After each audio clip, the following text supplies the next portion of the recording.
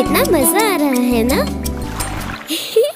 मछली जल की रानी है, जीवन उसका पानी है। हाथ लगाओ तो डर